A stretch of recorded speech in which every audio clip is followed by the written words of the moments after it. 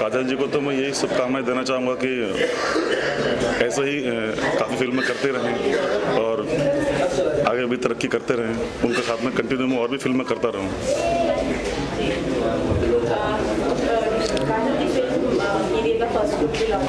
जी।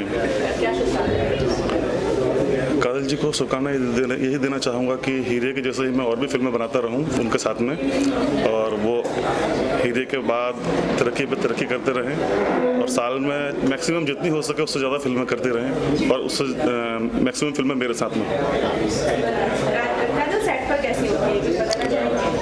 काजल जी set पे बारे में क्या बोलूँ? कोई कंप्लेंट ही नहीं है काजल जी के बारे में। काजल जी सेट पर आती हैं एकदम से मतलब जब उनको बोलो तब वो रेडी होकर आती हैं। कोई क्वेश्चन नहीं। अगर कुछ कन्फ्यूज़न रहता भी है तो मैं बताता हूँ तो बहुत जल्दी समझ जाती हैं। बहुत फ्रेंक हैं और काम के मामले में बहुत अच्छी हैं। उनके साथ मुझे काम करने का एक्सपीरियंस बहुत अच्छा लगा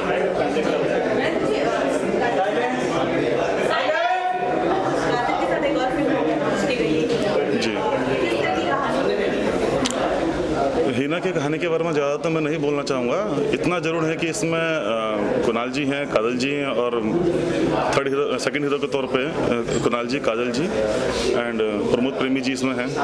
तो इसमें थोड़ा सा मेलोडी और लव स्टोरी टाइप का कॉन्सेप्ट रहेगा, जिसमें कि जिसमें कि बीच में भूमिका निभा रहे हैं कुणाल जी। का- काजल जी और प्रमोद जी के बीच में।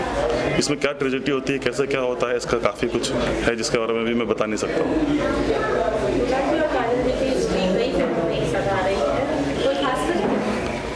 खास वजह शायद ये है कि केमिस्ट्री बहुत अच्छी है कुणाल जी और काजल जी की।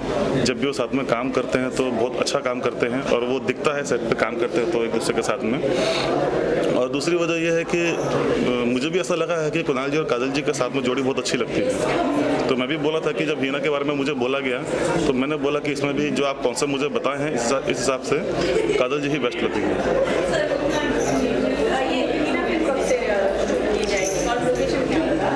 हीना का अभी थोड़ा सा कहना जल्दबाजी होगा कि लोकेशन क्या होगा, क्योंकि इसे अभी कहानी पे काम चल रहा है। एंड फरवरी या मार्च के आसपास में ही इसका हम प्लान करने वाले हैं शूट का।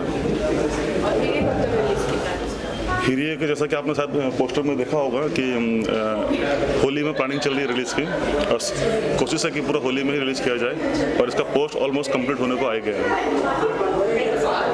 thank you press the bell icon on the YouTube app and never miss another update.